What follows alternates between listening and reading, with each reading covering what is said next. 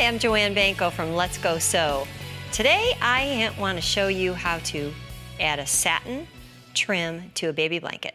I don't know about you, but you know, I love making gifts, and making baby gifts are probably one of the most precious things we can do um, to make and give away to people that we love. So this is a great one. It's easy to do, it's really beautiful, and you may even want to consider making a few to have on hand, um, and then, you know, one in pink, one in blue, maybe one in a neutral, um, like a, a minty color, and you're ready on the fly to be able to uh, give a gift at the last minute.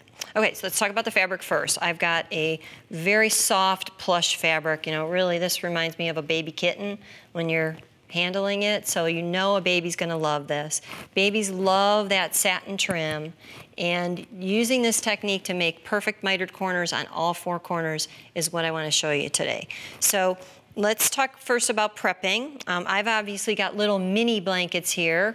This one is, um, I believe, I've got to remember my size, I believe it's 30 inches by 40 inches. Um, we'll have all that in the download for you. But I made that just the right size so that you could use a, a full package of the satin binding that you can find in a lot of colors and not have to worry about joining it. You could join it, but that makes it sometimes a little awkward to have a seam. So with this size baby blanket, it's a good size for an infant and you won't have to worry about piecing.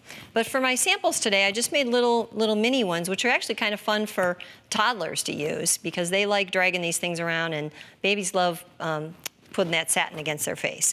You're gonna start by putting two layers together, wrong sides together, because this is a single face fabric. Now, you may want to consider doing this with even quilted fabrics or uh, fleece type fabrics that are, uh, you know, put together a different way. That's fine. You could still do the same trim technique. It'll work out really well. But I chose this, and because I wanted it to look beautiful on both sides, I layered it wrong sides together. I made sure my nap was going in the same direction on both of them. And you're going to want to use long preferably flat pins. You're gonna need to pin that at least three inches from the edge. And you may even, on a bigger blanket like this, wanna do a double row of pins. You could stagger those pins so you have that really, really nice and secure so it doesn't, doesn't slip. All right, we're gonna head over to the machine. I'm gonna show you the steps for stitching this. Um, I have already on the machine a digital dual feed foot, and that foot is belt driven. That's gonna help ease that satin and keep all those layers together. I changed from my regular standard presser foot, and you really wanna use either a foot like that, or in place of that, you could use a walking foot, because you wanna keep those, um, those layers evenly feeding. So let me show you how I started this. I've got a couple ends here already finished.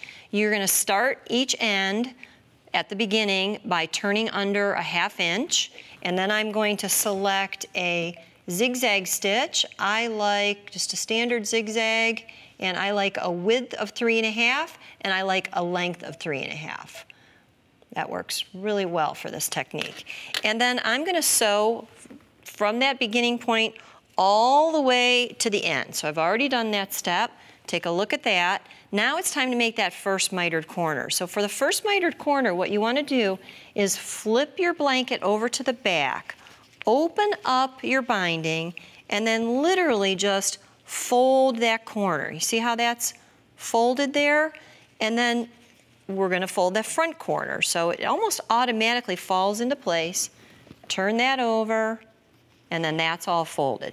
Make sure that you snug this up all the way to the folded edge of the satin binding.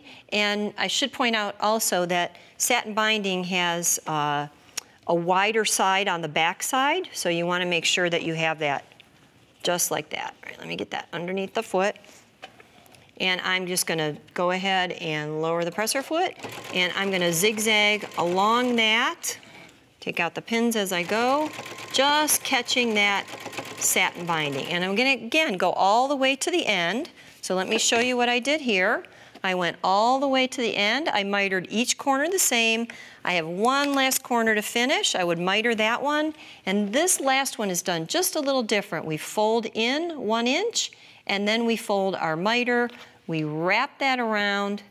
We would pin that in place and stitch down finish that side. We're gonna stop about six inches, stitch down, and then zigzag each of those folds. Be sure to visit the website. We've got free instructions for you to show you exactly how to do all of these mitered corners.